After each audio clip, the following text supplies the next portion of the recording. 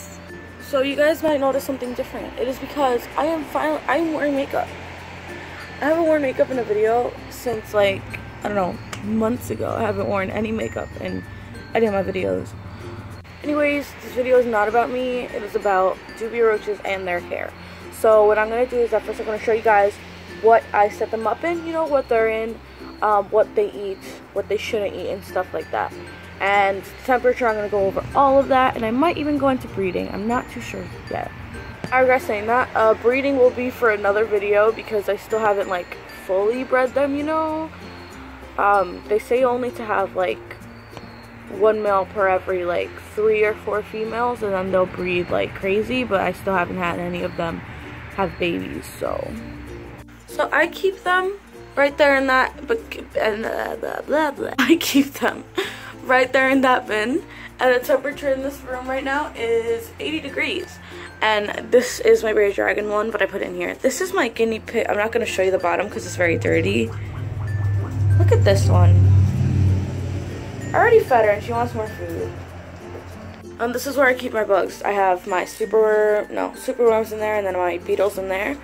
And here are my roaches. So the setup that I have it in is, again, like I said, um, in an 8 gallon bin. I think it's 8 gallons, I'm pretty sure. And I took this, like, netting, and I crisscrossed it a bunch of times, and I taped it on top. Also hot glue it, but I like to tape it. And it was so that they breathe. And it is also crisscrossed on the bottom so that, like, no bugs can get in there. And it is kind of, like, messy. It's not the best setup. Um, it's literally just, like, cardboard Oh, look, there's one right there. I'll pick her up.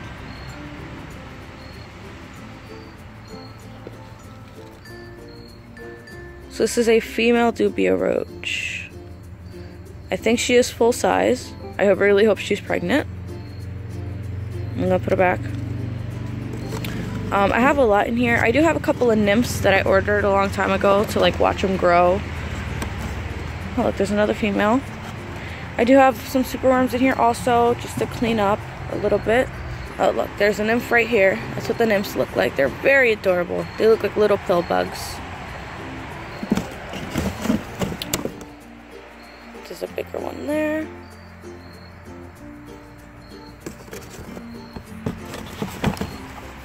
Oh, there is a male. The males have wings, but they can't fly. Here are some more adults over here. My camera's not focusing on any of them. So there's a male there. There's a couple of females. Is that a female? Yep, that's a female. There's a female and a male. And there's another male. So their care is fairly simple. You know, you just want to... I feed them the Fluker's high calcium cricket diet because it could also be used for other feeder insects and I have it right in the bottom over here. Right there. And then I give them instead of water uh, water crystals. I just bought Fluker's cricket quencher again. It could be used for other feeder insects. And it is just like I fed you already honey. I'm sorry sorry about my guinea pig. She's she is getting overweight basically because I feel bad when she squeaks, so I feed her more. So, anyways, this is the Cricket Cruncher. Quencher. I have it right there. And it is a non-toxic plastic that is safe for them to eat, so you know they won't like die or anything. they can't eat normal water because then the nymphs will drown in them. And like, you know, you don't want that because then you have less feeder insects. Also, no processed foods, so no like potato chips or anything like that. Um, you could feed them the table scraps, like if you were to make a salad and like you chop off the side of the lettuce that you don't like that everybody throws out, you can give it to these guys. You really want to watch with mold with these because mold will wipe out your entire colony. Come over here. No, no, no. Okay. Mold will wipe out your entire colony, so you know you don't want mold. So if you're gonna feed them veggies, you can feed them all veggies basically. It's also good for their hydration. But what you don't want to feed them is meat, poultry, anything like that. Basically, these guys are vegans. they are vegans, so don't feed them anything that you would not feed your vegan friend. For temperature, you want to keep them between 60 and 85 degrees Fahrenheit. I recommend putting a thermometer in here, but at this time, I mean, I only have one, and that is the one that is in there. In there, in the shed. There's Callie. Humidity should be high. But again, watch for mold. Um, the humidity will be fine just with the little, like, plastic quencher things. I forgot to mention, you could also just use water crystals for plants. But I'm afraid that I might buy the wrong one and I might kill some of these, so I never bought those. But there are some people that just use like normal water crystals and it works fine. They can't climb plastic. So that's why like bins like these are so crucial and so good because since they can't climb plastic, they won't get out. You don't even need a lid. I have a lid though because I don't want bugs. I don't want other bugs going in here. I highly recommend also putting super worms or super worm beetles or morio beetles, whatever you want to call them, in this colony. If you put the worms, they will pupate by themselves. I have noticed that. They will eat some of the dead roach car. car if you ever see a white dubia roach, you are not special, okay? You don't have some type of new white breed. Okay, you just have one that molted. And I found a molted skin right here of a little nymph. If you see this in your colony, that's just the skin. You know, it looks very real, like it's the actual thing, but no, it's just the skin. These guys do not smell. They do not smell. These guys are the best feeder insect that I have ever dealt with. I've tried crickets at first. After a day, their whole thing smelled terribly. And I, I was just done. I'm, I'm not gonna, you know, I'm not gonna put up with that.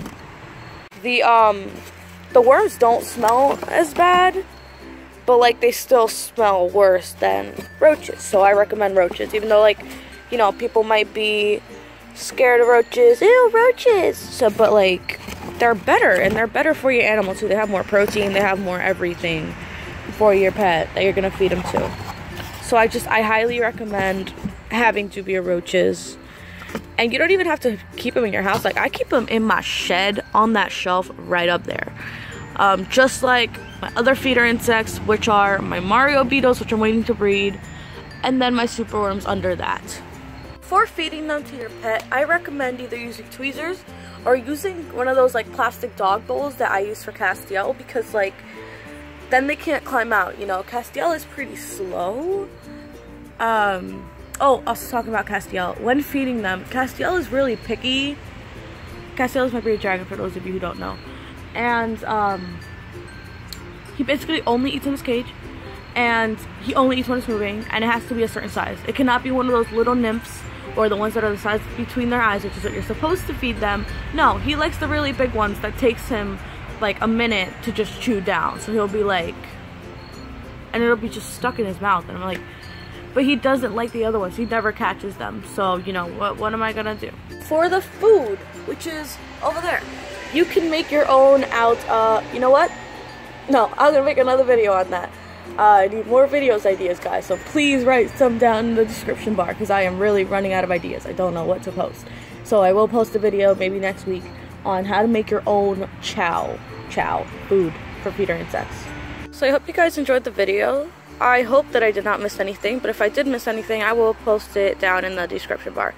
Um, please don't forget to like, comment, rate, and subscribe to be a part of the, uh, what's it called, Callie? Notification squad. Good job, notification squad. um, I am trying to post more frequently, guys, and I'm sorry that I am not on a schedule. But I am busy. I do have school and stuff like that, and so, you know. I hope you guys have a great day. Right? Yes.